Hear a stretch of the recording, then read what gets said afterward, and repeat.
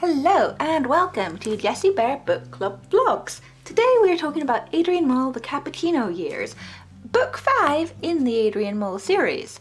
This book picks up 5 years after Adrian Mole The Wilderness Years. Adrian is now 30 years old, slightly balding, a father of one young three-year-old son who is exactly one month younger than me, called William, a divorcee, and he is working in a rather not brilliant restaurant called Savages in Soho. Now, the book opens with a list of principal characters, and then afterwards it goes on to talk about the love of his life, Pandora Braithwaite, being elected as the MP for Ashby de la Zouch. Ashby de la Zouch. And Pandora is elected the MP for that jurisdiction. The chapter where it describes election night is far too long and just a little bit dull. And it's kind of funny because he's so obsessed with her, he agrees to do, you know, like drive people to be voting, even if they're not Labour supporters, and Pandora, of course, is for Labour, but she's just as bitchy and horrible as ever. But I have earmarked a few bits throughout this book I want to talk about. One of my favourite things is at the near the end of this book, about I would say about a quarter of the way through, Adrian discovers his son, Glenn Bott.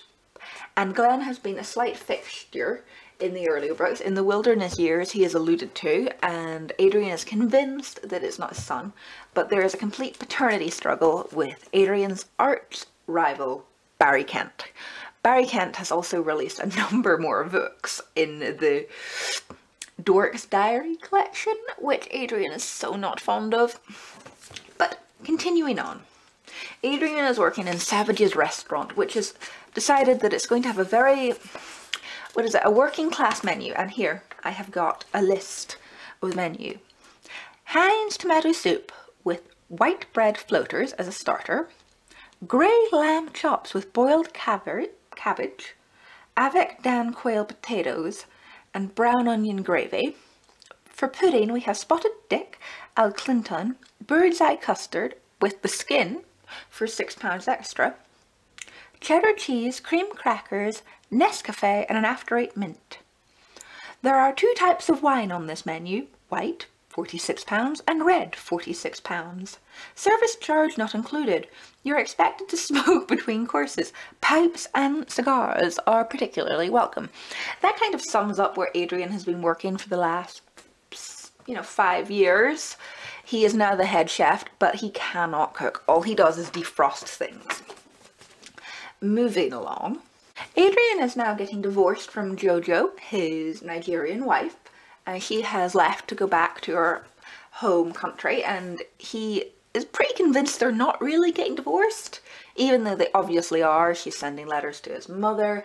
Divorce proceedings are going ahead but he is convinced that they are not getting divorced and it's quite funny. He also makes friends again with his childhood best friend Nigel who is now a was a van driver for Next? And is very angry most of the time. But this book is quite funny um, Nigel finally comes out to his parents that he's gay and Adrian ends up outing him on the radio and it's just a bit ridiculous and it's funny, it's also quite sad, but it's very, very funny. But one of the funniest things about this book is Adrian Mole's opal fruits obsession. And as somebody born in 1994, I didn't know what opal fruits were and I had to Google it and they're starburst.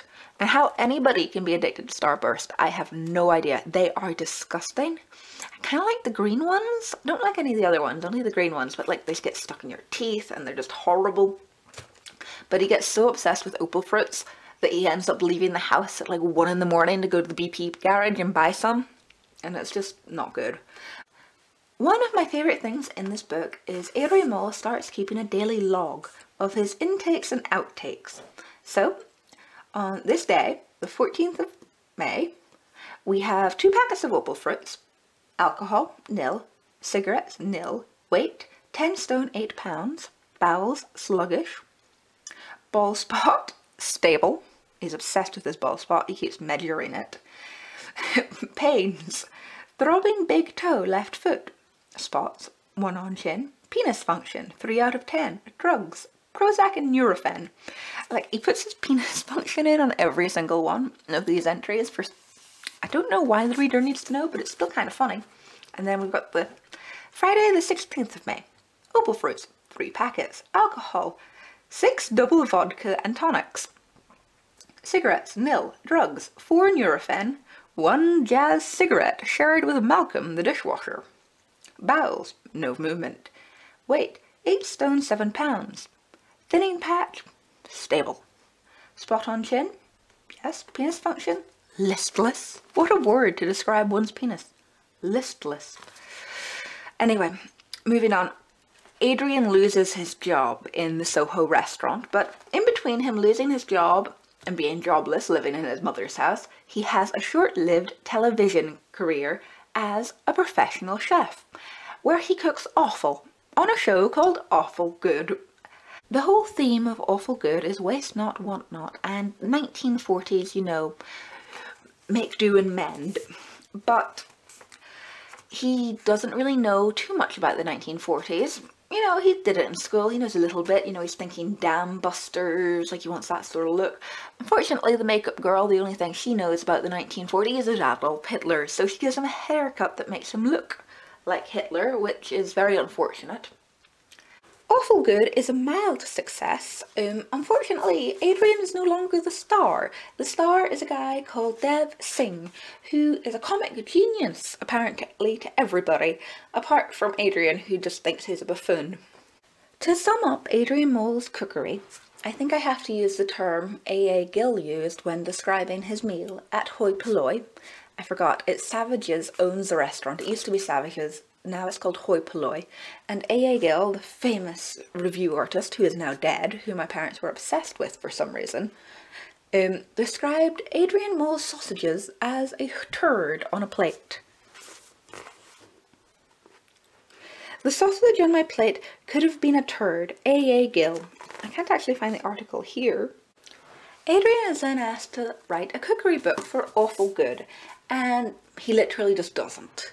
He has every opportunity, he could have, but he doesn't. And his mother ends up writing the book for him, which, you know, is very, very kind of her, but then she expects half of what it made, even though she did it as a present for Christmas. And I think that really sums up Adrian Mole's mother in the best possible sense. She does care, she does love him, but she's also quite self-centered. I don't know, I've never warmed to Adrian's mother. I know she's a fan favourite, I just don't overly like her. Well, anyway, after Adrian moves home, his mother, in the meantime, while all his cookery success or non-success has been going down, has been having an affair with Ivan Braithwaite, Pandora Braithwaite's father, and they kind of do a swap. So Ivan and Pauline get together, and Tanya and George Mole get together, Adrian's father, and they kind of swap houses. And it's just all a bit confusing and horrible especially for Adrian's poor sister, Rosie, who is very upset by Ivan being in their house and, you know, acts out a bit. Gets a tattoo of a monkey on her stomach and then proceeds to get pregnant. And Adrian, you know, she tells Adrian and she decides to have an abortion. It's all quite upsetting, but I think my favourite line is he agrees to have her laser, laser the monkey off her tummy because she describes it, it'll get stretched out to be the size of King Kong. I don't know, I found that really funny. I like Rosie in this book. She doesn't feature in many of the books, or if she does, it's only as a side character, but she's very good in this one. He describes her as being innocent even though she looks like Baby Spice, but she is not innocent, as her boyfriend said. I've had more than cider with Rosie. Continuing on, Adrian is now living at home. There's a whole, is Glenn Bott his son? Is he Barry Kent's son?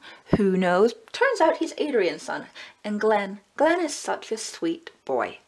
Like, he might not be the, you know, the brightest bunny in the bunch, but he's lovely and he obviously really loves Adrian and is so happy Adrian is in his life.